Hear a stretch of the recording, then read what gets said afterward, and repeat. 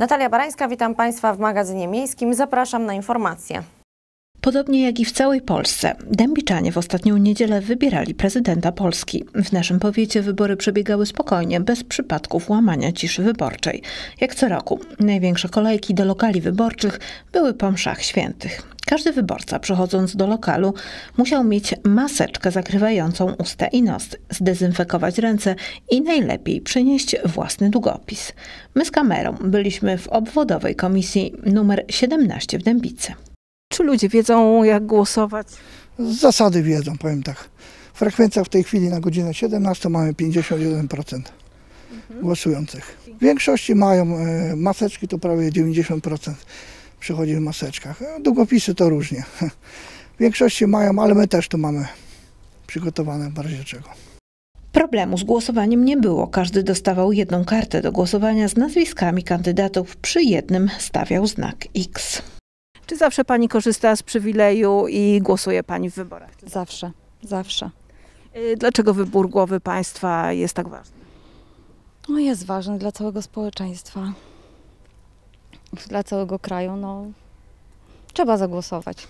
To jest nasz obowiązek, proszę panią, przywilej, obowiązek. Tak. A dlaczego wybór głowy państwa jest tak ważny? No proszę panią, no chcemy, żeby w Polsce było dobrze i ciągle mamy nadzieję. Dlaczego wybór głowy państwa jest taki ważny? dla dobra kraju, dla ojczyzny. Czy Pani się nie boi zakażenia? Jest Pani przygotowana? Bo to dziwne czasy. Nie, nie boję się, mam maseczkę, a myślę, że nic się złego nie stanie. W Dębicy wybory wygrał Andrzej Duda z wynikiem 52%. Rafał Trzaskowski miał 23%, Szymon Hołownia 11,39%, Krzysztof Bosak 8,95%, Władysław Kosiniak-Kamysz 2,19%, Robert Biedroń 1,62%. 12 lipca czeka nas druga tura wyborów prezydenckich, w której zmierzą się urzędujący prezydent Andrzej Duda oraz Rafał Trzaskowski, prezydent Warszawy. Trwa modernizacja domu dziecka Hanka. Już za niespełna dwa miesiące. Dom dziecka w Dębicy będzie miał dwie wyodrębnione placówki. Hanka i Jaś. Jak wyjaśnia wicestarosta powiatu dębickiego Adam Pieniążek, ustawa nakazuje, że w jednej placówce może znajdować się tylko 14 dzieci. Dlatego postanowiono z jednego budynku zrobić dwa domy z osobnymi wejściami. Główną przyczyną e, remontu domu dziecka Hanka była ustawa z 2012 roku, która teraz e, do końca tego roku obliguje organy prowadzące e, w odrębnieniu dwóch lokali. Placówki tego typu nie mogą mieć więcej podopiecznych jak 14 e, osób. Tutaj mamy około 30, w związku z tym trzeba ten dom dziecka, krótko mówiąc, podzielić na dwa odrębne lokale. Jak podkreśla Małgorzata Grabowska, dyrektor domu dziecka, to, że dzieci będą blisko siebie i blisko swojej rodziny, to bardzo ważne dla ich rozwoju. Jest to niezmiernie trudne, dlatego że tych dzieci przybywa. I gdybyśmy zmniejszyli do 14, wtedy nasze dzieci z powiatu będą wożone do powiatów kilkadziesiąt kilometrów, a może nawet i kilkaset kilometrów. Dla dzieci jest to niesamowita trauma, dlatego cieszę się, że e, mamy taką przychylność e, władz powiatu, zrozumienie. E, No i działamy tak naprawdę dla dobra dzieci, żeby mogły zostać u nas w naszym powiecie, żeby miały kontakt ze swoją rodziną. To jest bardzo ważne. W ramach prac remontowych wykonywane są ścianki działowe, malowanie pokoi, drzwi i korytarzy. W ubiegłym roku opracowaliśmy dokumentację projektową, która kosztowała ponad 22 tysiące bodajże. E, W tym roku są przeprowadzane prace budowlane. Całość prac kosztowała 330 tysięcy złotych. Dzieci na czas remontu przebywają w stanicy w Głobikowej. W tej chwili przebywamy z dziećmi w schronisku w Głobikowej.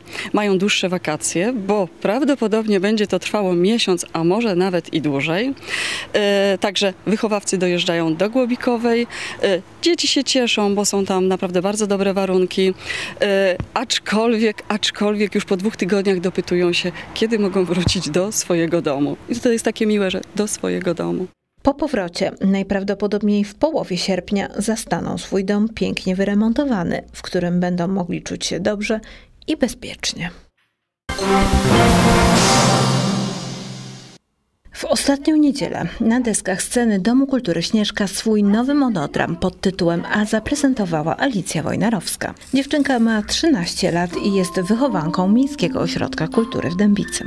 Od wielu lat występuje na scenie i gra w spektaklach teatralnych. W swoim pięknym występie podzieliła się historią młodej dziewczyny, zmagającej się z trudnym, często niezrozumiałym światem dorosłych w którym dzieci często szybciej zmuszone są dorastać i zatracają swoje beztroskie dzieciństwo.